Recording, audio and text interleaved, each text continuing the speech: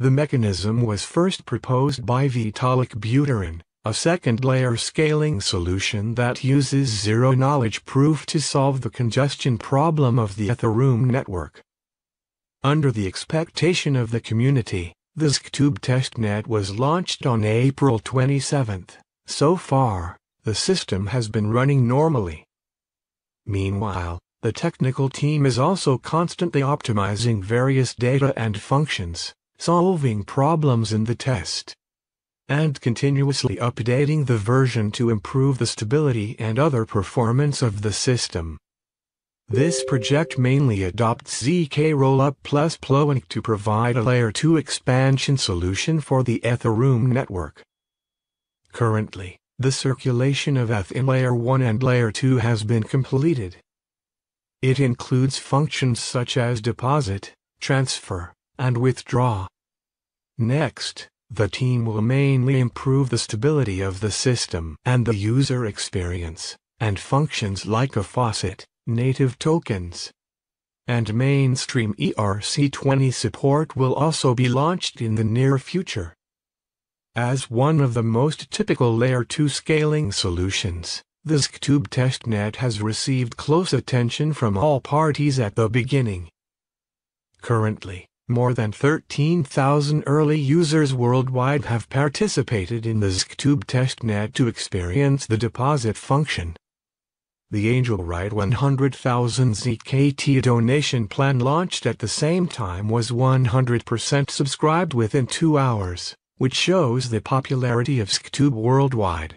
Shows the popularity of ZKTube worldwide. It is growing faster than other Layer 2 related protocols, so the technical challenges in the development process are unprecedented. All technical problems encountered need to be solved carefully by the project team. In addition, the vision of the ZKTube protocol is to create a Layer 2 cross-rollup solution based on ZK rollup architecture. This is the first of its kind in the world. It means ZKTube Labs technical team needs to acquire the most advanced and highly skilled technologies to support the system.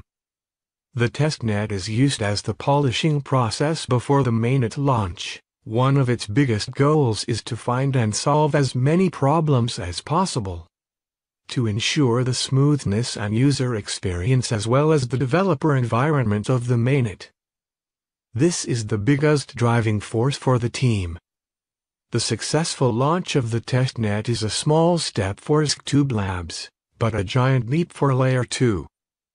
Future Vision In the long term, the ZKTube protocol supports a wide range of applications built on ERC 721 and Web3, as well as providing a wallet as an entry point to enterprise-scale decentralized scenarios.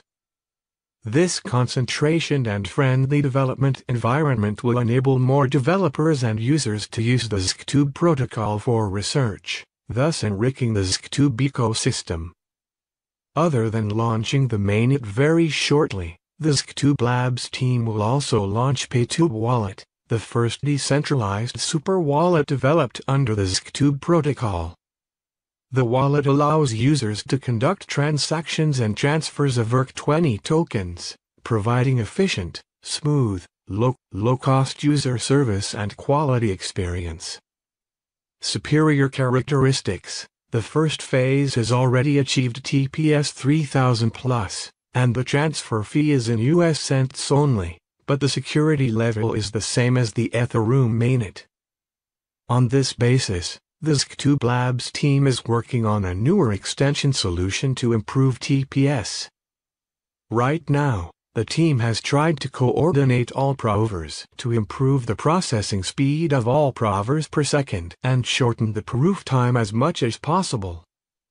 According to preliminary estimates of ZKTube Labs, this scheme can achieve a staggering TPS 20,000 plus.